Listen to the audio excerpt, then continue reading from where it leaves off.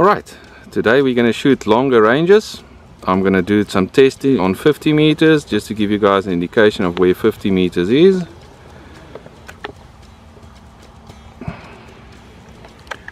Come on, focus baby, there we go. And then also I'm going to take it all the way back to 100 meters. That's way back, way, way, way, way, way back.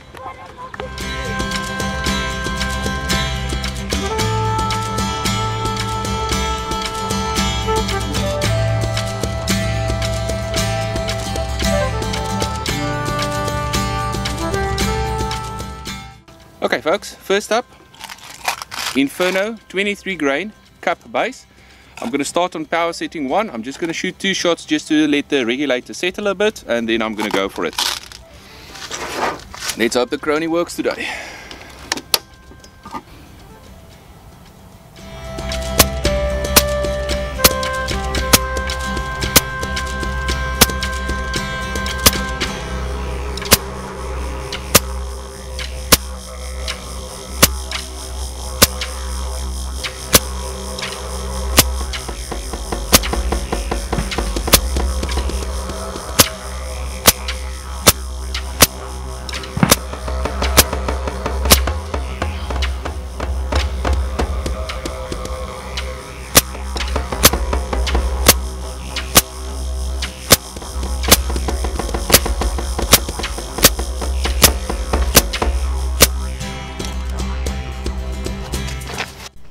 The best grouping with the 23 grain cup base was at a much lower speed than expected. It was at 830 feet per second with a grouping of 5 shots of 8.5 millimeter.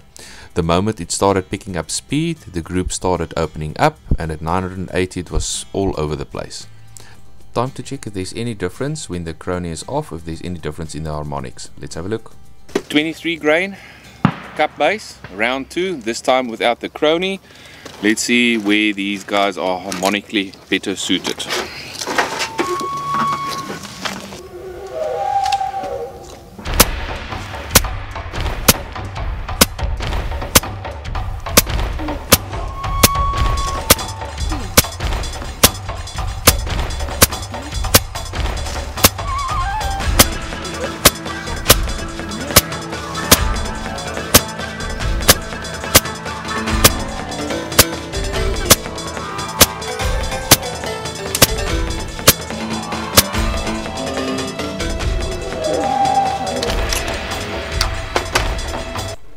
The same observation pulled through without the Chrony. The tightest group was again at the lowest speed, which is quite interesting.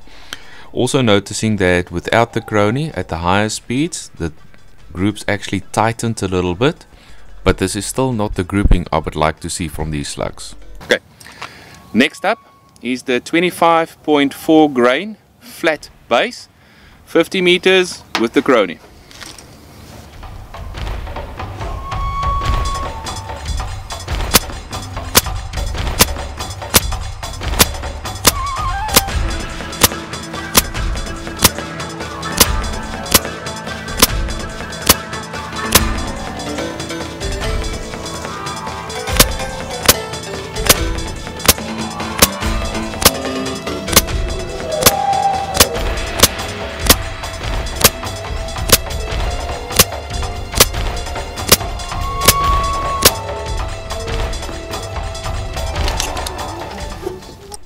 The 25.4 grain slugs is a huge improvement on the 23 grainers through my barrel. The groupings were a lot tighter and the tightest grouping was 13.1 millimeter on power setting 3 that ran at 880 feet per second. Next up I'm gonna run exactly the same speeds, exactly the same setup, just without the Chrony. Time to rumble.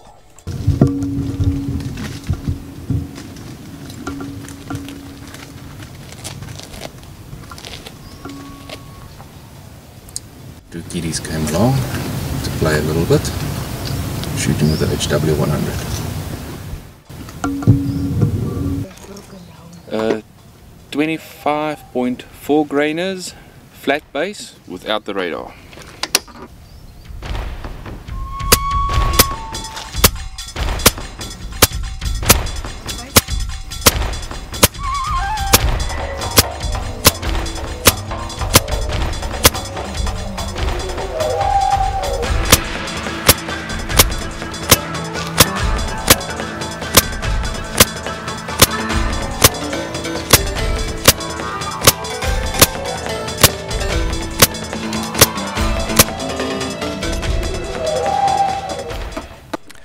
The groupings were a lot tighter without the Chrony attached to the barrel, with the best grouping actually being at maximum power at 940 feet per second, a 25 mil grouping with 8 shots there, some lateral movement, but I think that was more uh, to do with the wind. Interesting to note that the slugs actually perform quite well at slower speeds, which is contradictory to everybody's perception of slugs. And now, let's go and see what these babies are doing at 100 meters.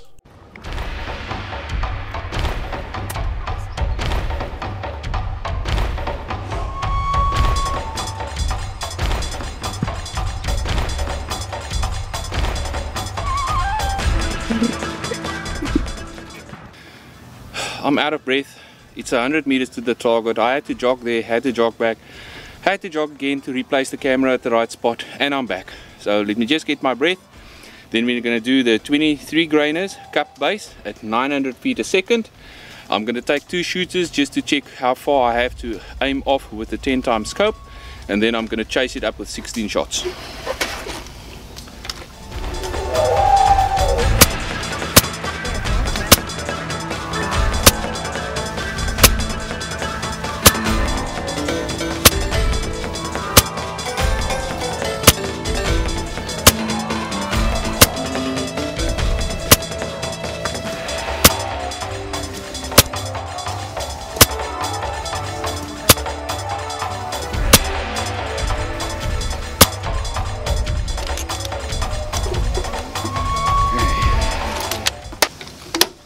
25.4 grainers running at 910 feet a second.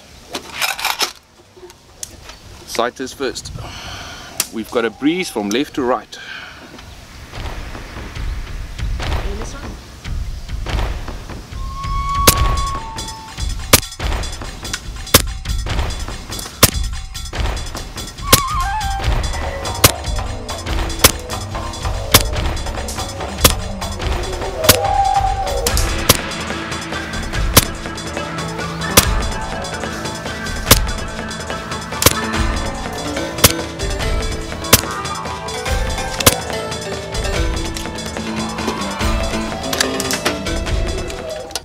Against my own better judgment, I ran the 23 grainers at 900 feet per second, even though the best grouping on 50 meters was at 830 feet per second.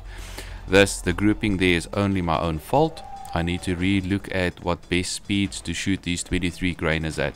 The 25 grainers, however, is extremely promising. The flat base really did its job. That's a tight group It ran about 63 millimeters at 100 meters into the breeze. I'm quite impressed with that and quite happy with that. In the next episode, we'll shoot the 25.4 grain cup base and the 28 grain cup base as well. Please stay tuned, watch for the next video.